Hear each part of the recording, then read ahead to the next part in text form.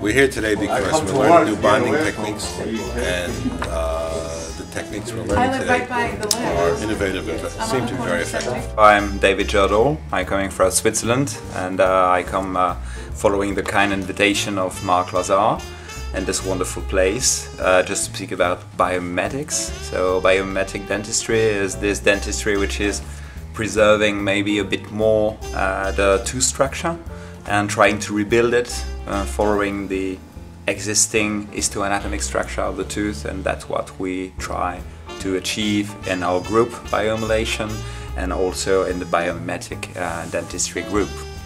Biomimetics is all about conservation of tooth structure and doing things to mimic the properties of the natural tooth, aesthetically and functionally. Uh, David Gerdolle is an amazing dentist, one of the few handful of people who really truly inspire me to take it to a whole different level. What he does is outstanding. I had him in from Switzerland just to demonstrate his techniques and show us uh, what is capable, what we're capable of doing, and to enlighten us on new isolation techniques, preparation techniques, insertion techniques. I mean, it's an outstanding lecture, and I'm glad we got to uh, to see what he's uh, able to do.